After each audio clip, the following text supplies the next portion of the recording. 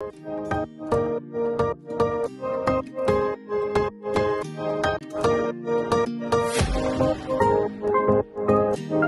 you.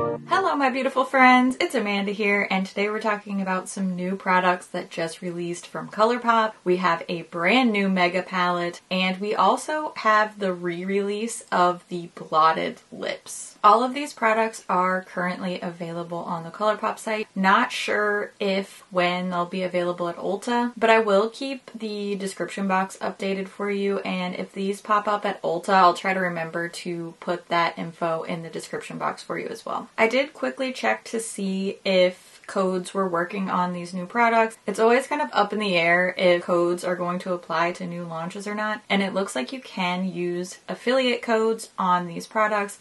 I do have a code for 10% off. It's just my first name, Amanda. However, they've been doing a bunch of sales and promos, so just keep in mind that you usually cannot combine a coupon code with an existing sale or promo. So just keep an eye on your cart for that. I would rather have you get the best deal possible. Sometimes codes and sales can conflict, so just keep an eye on your cart totals. Let's start with this new mega palette. This is the Gone Matte palette, and it is retail priced at at 34 US dollars. We see the typical packaging for these mega palettes, same size and shape as the previous releases, but when you look really close up at this one, it has this sort of stippled texture. It kind of reminds me of a like a popcorn ceiling, if you know what that is, or a stucco wall. It has this really cool texture to it. When we look at the back here, all the shade names are pictured on the back of both the palette and the box. There are no eye safety warnings on this palette, and like the other mega palettes, there's no mirror inside. So when you open up in here, it's just the heavy duty cardboard packaging. There is a magnetic closure, and then you see all 30 shades laid out in color coordinating columns here. I like that they've switched over to the shinier background. It's not great for the ring light, but it is a lot easier to keep clean. The inside of my Bare Necessities palette is wrecked. I do want to point out that these shades seem to be laid out in columns, and I think this is very user friendly. It's also how I'm going to swatch them in these color groups. So we have some warm neutrals, a little pinky row, a more mauvey purpley row, and then some definite grays there on the end. And of course, all the shade names are inside next to the pans. I want to show you some swatches of this palette. I decided to break it up in columns. So I swatched these 10 at a time, so two columns at a time. I really think this is laid out in columns and meant to be grouped in colors that way. So that's why I swatched it this way. I'm going to show you three different groups of 10 swatches. Finger swatches are on top, brush swatches are below. No primer, no dampened brushes or anything, just these shadows straight onto my skin. So let's take a close-up look at these Gone Matte swatches now. I do want to point out a few things along the way. First, and probably the easiest to notice is these first two columns look really, really similar to each other. We are going to see a lot of too close for my comfort shades as we go along, but I think that these first two columns are really the best example of that. And I do want to give you some close ups just so that you can see the colors and the textures as close up as possible. I also want to mention that I think the brush swatches are better than the finger swatches when it comes to these matte shades, and that seems to be across the board with this palette. I don't actually mind that. I do prefer to have a higher performance with the brush because typically that's how I'm going to be applying to my eye, and especially with mattes that is going to be my application method of choice. So, this is one of those palettes where you don't want to let the finger swatches fool you because the brush performance is a lot better, at least in my experience. Now, these last two rows, while they're not too similar to one another, they are very similar amongst themselves. So the mauve column and the gray column both have some shades that I personally just think are too close to really sort out. Now you'll get to see these mauve shadows on the eye, and honestly, the first three are just so, so close to each other. And then these two middle gray shades are very similar. I mean, different undertones, but just very similar overall. Next up, I want to show you some comparisons with this palette. This is a pretty basic neutral color scheme, so we could do comparisons for this all day and not exhaust the options. So I do just have a handful of comparisons here for you, and I think this is going to give you a pretty good idea of what other matte neutrals you may already have in your existing ColourPop collection. So let's take a look at a few comparisons now. I could have done about a million comparisons, especially for this first group of swatches, the first two really warm orangey brown columns. And honestly, whatever you're thinking this is similar to, it probably is when we're talking about Tartelette Toasted or Urban Decay Naked Heat or insert warm toned palette here. These are pretty standard shades, and I think you can see that even with these just handful of ColourPop comparisons that we all probably have these shades several times over. That's not limited just to this first group of swatches, but I think it's just most especially apparent with those really warm toned colors. Now, when we look at Stone Cold Fox, it's a little bit cooler than the middle section here, but once we get to the last round of swatches, we're going to see a lot more similarities there. I also wanted to compare to Smoke and Roses, the previous most recent mega palette that just came out not too long ago. And while the color story is similar, Smoke and Roses does have a lot more shimmery shades in there. So I think these could work well together. But again, there is going to be a decent amount of overlap look at Stone Cold Fox, pretty darn similar. And I think that this comparison serves to show how much more similar the Gone Matte shades are than the ones in Stone Cold Fox. I don't know if that made sense, but this Gone Matte palette is just a lot more repetitive, in my opinion, than the other Mega palettes. And overall, that is going to be my biggest critique with this new Gone Matte palette. Lastly, before we move on to the blotted lip, I want to show you a tutorial using this Gone Matte palette. I was trying to think of a way to make this tutorial really useful for you because this is a matte neutral palette. I don't think most people need a lot of instruction as far as using these kind of shadows go. So I wanted to show you my really easy way to do a smoky eye. I think that smoky eyes can be very intimidating. They can go wrong very quickly. So I'm going to show you how use a really, really simple kind of foolproof method to achieve a smoky eye. And then after my tutorial, we'll move on to the blotted lips. I am by no means an expert, but I do want to give you some tips for a smoky eye.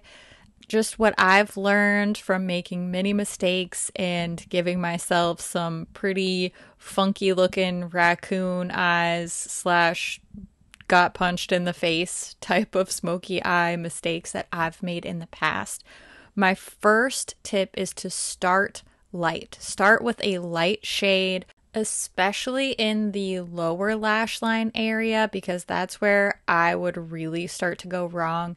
But in general, I think it's just a good idea to start with some really light shades and then build up to the deeper shades, sort of blending and layering so that you can keep a nice softness and it doesn't get too harsh and too out of control.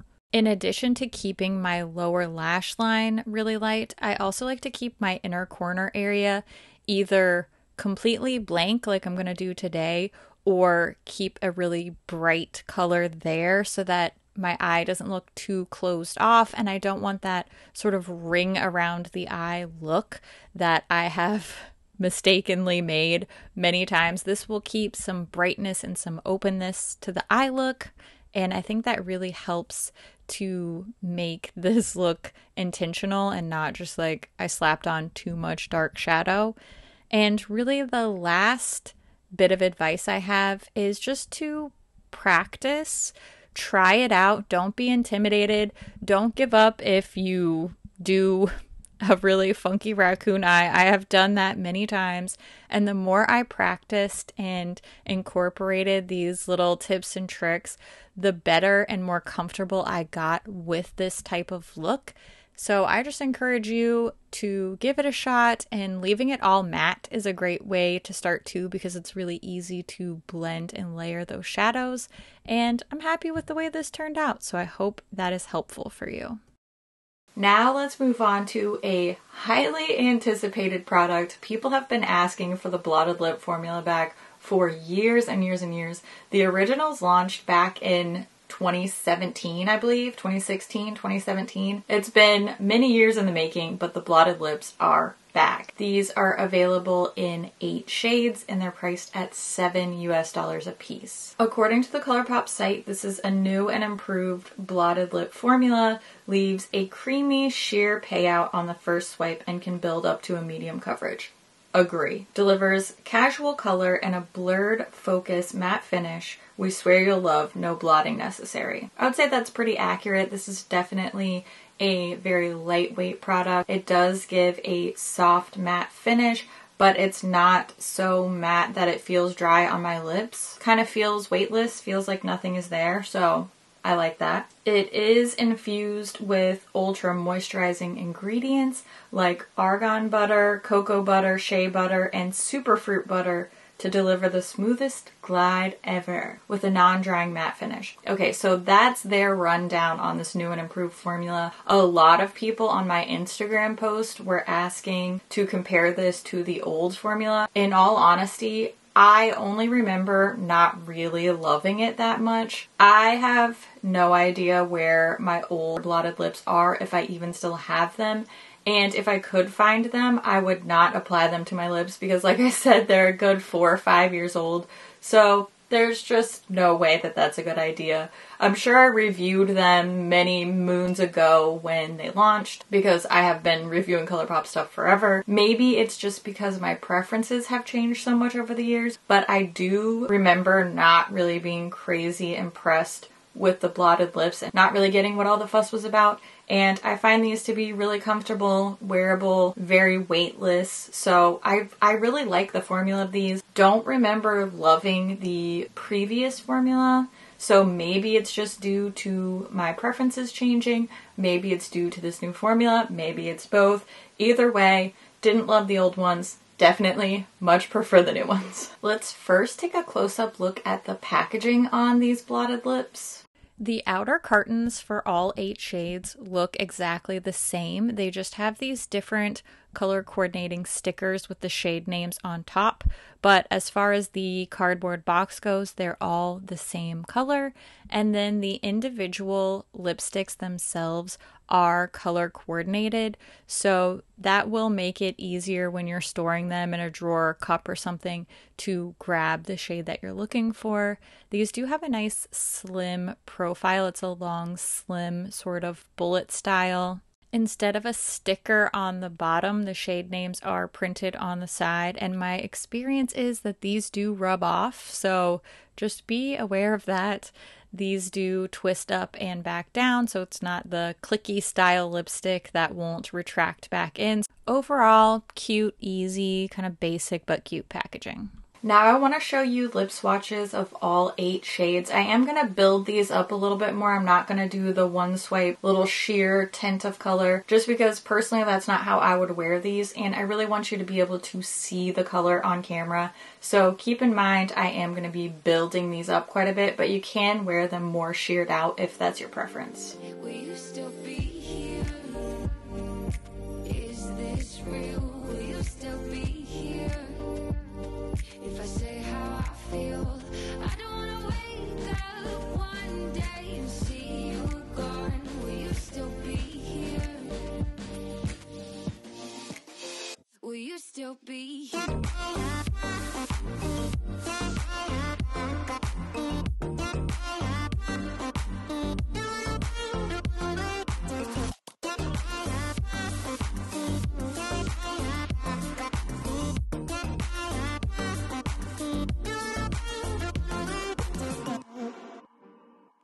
What if I showed you I could change? I really hope you don't walk away. What if I showed you this love could be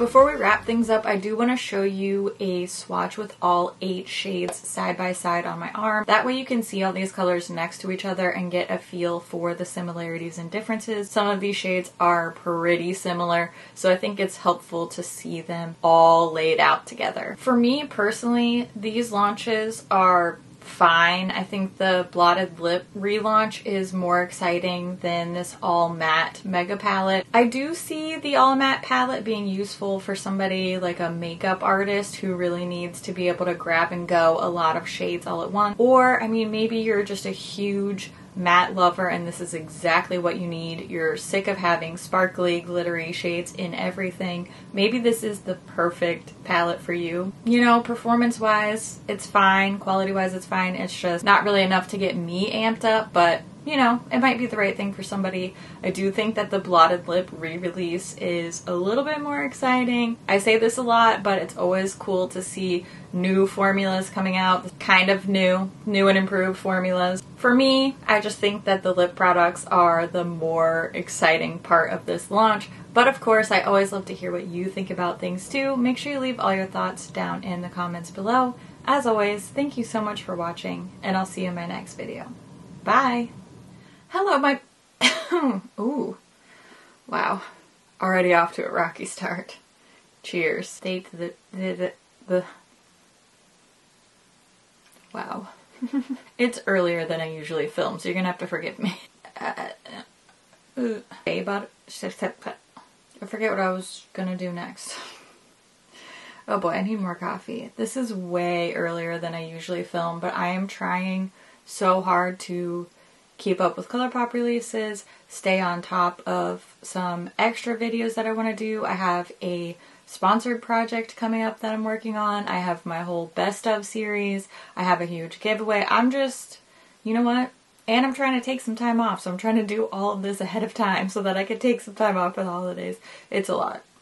I'm fine. Just bring me coffee and I'll be fine. The sweater's so comfy, but I am kind of starting to sweat a little bit. If I took it off, I would be cold. Course, the human condition. Okay, my lips are a little dry after swatching all these. Not gonna lie. It's lip mask time. I did it. Look at my little cute little lightning bolts. Of course, they're from By Mel Klein. Almost always wearing either her earrings or my earrings from my Etsy shop. It's pretty much all I got going on. Gonna be honest with you. Okay, that wraps it up. Hope this was helpful, and I hope that you know that you are cool, special, awesome, smart, funny, and talented, and that I love your face. And I'll see you soon. Okay, bye.